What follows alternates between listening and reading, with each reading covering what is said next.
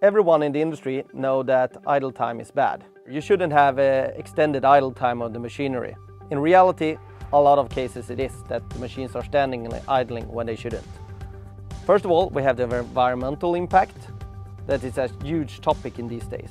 But also the fuel cost, the service cost, and also if you look at the second-hand value.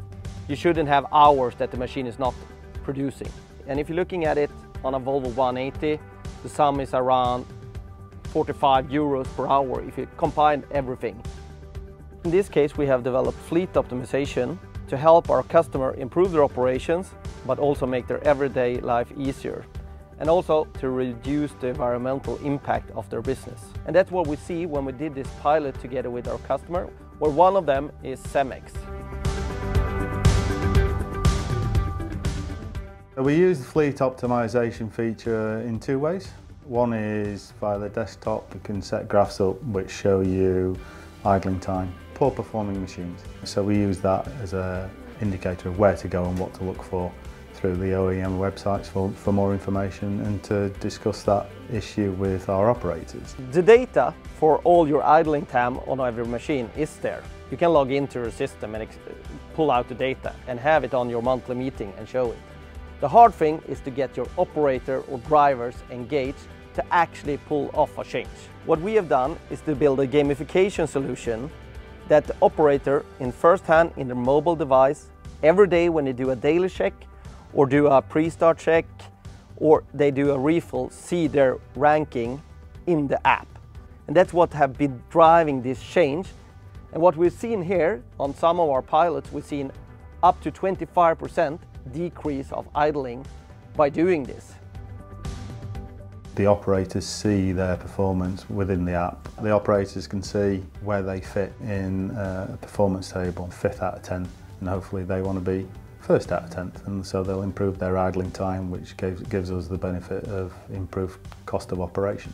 For a lot of our customers, sustainability is one of the key topics that they're focusing on. This is also where Checkproof fleet optimization can be a big part of actually reaching this goal and reduce your CO2 footprint. Idling time, for example, is, is costly. The obvious one is fuel usage. You know, three, four litres of fuel per hour is now two, three, four, three pounds, you know, current prices. On top of that, you've got the maintenance issues, which will cost you even more. So subtly encouraging our operators to uh, perform against each other from a an idling perspective is, is uh, really good news. So what it's designed to do is reduce your losses, reduce your wastage, and that's what we focus on. The reality for our customer is a lot of cases they have a mixed fleet. They don't only have one brand.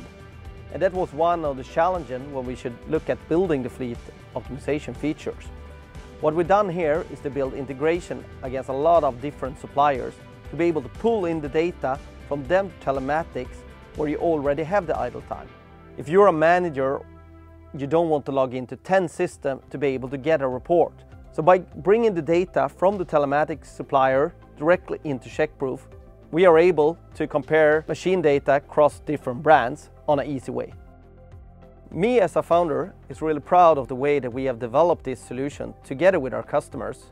First of all, see the savings that we can achieve but also that we actually could make a change of the CO2 footprint by utilizing this feature. To be a part of building a sustainable industry for the next generation to come makes me really proud.